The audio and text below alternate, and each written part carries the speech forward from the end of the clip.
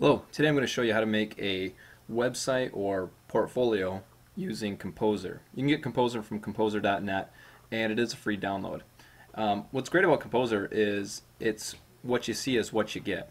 So if you don't have Kompozer, you got to download it. Otherwise, if you have it, you should go to Programs and it should be inside there. Kompozer spelled with a K, kind of funny, but um, if you want to Google it, that's how you spell it, kompozer.net. Alright, so how is this different, um, or how does this work compared to just using Notepad? So for example, if I say hello world and I, uh, you know, choose red or something like that, hit OK, I can go to the source code here and it shows me what it did. It already put in all the HTML tags that I need. Um, it's just so much quicker. If you understand how to use the program, it's so much quicker than just um, typing in HTML. Alright, so what I want to show you to do today is how to make, again, a website, a simple website or a portfolio. So the first thing I'm going to do is well, let me say first, if, if you want to make it more complicated and you really in, know what you're doing, you're probably going to want to use CSS to make your web page. But this is just a simple tutorial, so we're going to use tables to format ours. So the first thing I'm going to do is, well, before I even get into that, here's what you should do. Create a folder. Just right click on your desktop, or if you're one of my students, uh, do it on your H drive. But right click, new, and folder. And inside, and go ahead and call that folder website. We're going to put everything inside of there okay? So do that first, all right? So the next thing that you need to do is I'm going to go to go table, insert table. And what is a table exactly? Well, let me get one in there first. I'm going to just go one by one table. It's not really a table, it's just kind of a cell then. What this allows me to do is I can put um, things inside of this table and I can format it so it kind of sticks with it. So for example, let's say I'm going to enter down a few times here and I'm going to insert another table. And in this table I'm going to go 4 wide and hit OK. Now see if I put something in these tables it's going to, it's going to uh, make sure it stays on the page a certain way okay? So for example I'm going to have my name up here. Um, I'm going to call myself John Smith really original. And uh, let's say I have what I'm wanting these I'm going to have personal information alright click the next box, awards, and see how it's moving? It's trying to adjust for me automatically, and I'll show you how to fix that in a second. Honors and interests. And you might have something else. This website maybe will have like products and whatever else. Academic information. And lastly, sample student work. All right, there we go. So these would be like my buttons on the page, but already like I want to be able to see the background and I want to format this table the way I, I want it to look.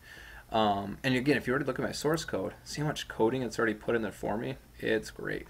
Okay, so um, let's say I want these buttons all to be the same size. Okay, so what I can do is I can right click table cell properties and inside this cell, you can see I'm on the cells tab, I'm going to change the width to 25, not pixels, but percent of table, and I hit apply. And it'd be nice if I could do all three of these at once. Maybe I can. Let's see if that works. Uh, right click, table cell properties, 25%. Change to percent of table, apply. And there we go. I don't think it really worked. I think it only worked on one of them because this one's 385. It's much too large still. So, well, let me adjust these. Table cell properties. Yeah, I didn't do it for the rest of these. 25% of table and right click table cell properties. 25 whoop, 25% of table apply. There we go. So they're all even now right? And I don't really like where they're at. They're not centered up right? So I can just highlight them and hit center and it'll center them up which is great. Um, the other thing that I want to do is you see this table it's, it's, taking up the whole screen and that's probably okay a lot of times but let's make it a little different. I'm gonna again right click table cell properties you're gonna go there all the time And for this one, I'm going to go up to table, all right, and I'm going to do center, all right, and uh, let's only do, let's make, let's have the table only be 80% of the window. Hit apply and then OK. And you can see it's kind of squished everything in a little bit. So if I hit save now, what it's going to ask me is it wants to title the page. The title of the page is what Internet Explorer, Firefox, or Google Chrome, you know, web browsers, what um, what's going to be at the top of the page. It's not necessarily the file name, and I'll get to that in a little bit. So I'm going to call this one sample student work. And I'm going to hit OK. Now, that only saved the title. That's not actually the name of the file. Um, so I'm just going to call this one sample. All right, sample. And the, where, where you want to save that is you want to save it in your website folder. Mine's already there. Mine's under desktop website. If you're my student, please save it in H drive, create a folder called website, and save it under there. Just leave it as one name. All right. Don't don't um, have spaces, and, and you can have it longer. Like if I want to sample work, I could do that, but don't put a space in. It kind of screws things up later for some of the things we want to do. So then I hit save. Okay. So let's see what if it's done. So if you if you launch uh, Firefox, you can go to File, Open File, and I have my folder here, website, and I have some stuff in it. So, but here's my sample page, so I'm going to open that up. All right, and there it is.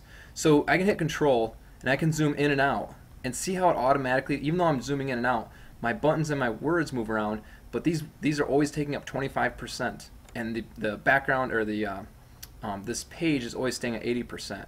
So on some computers it might look like this because the resolution's different, and on some computers it might look like this because their resolution's different than yours. So that's why that's the advantage using percent over pixel. All right. All right. Back to this. All right. So um, it's okay now. But what I want to do is I want to put in some more information under my name. And in fact, I want a picture as well. Um, well, let me, let, me get, let me show you a couple other things quick, just so you understand.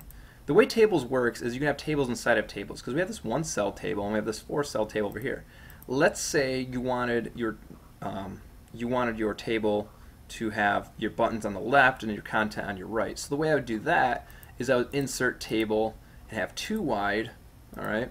And on this part of the table, I would insert also um, four buttons, one tall. See, so my content could be over here, and I can just go up here to the top if I want. I can just adjust this like that. So I could have my buttons in here instead, and then have my content in here, and then I could just get rid of this table. If you ever want to get rid of a table, just hit the little X and it'll get rid of it. If you want to undo it, Control Z and it comes back. Alright, so I just want you to understand that's one way to format it. And if I want to see those changes, you know, I could put blah, blah, blah in each of these and blah, blah, blah in here. And in Kompozer, or if I, if I, and if I save this now, launch Firefox and refresh, it would show those changes. And again, it keeps nice and formatted for me.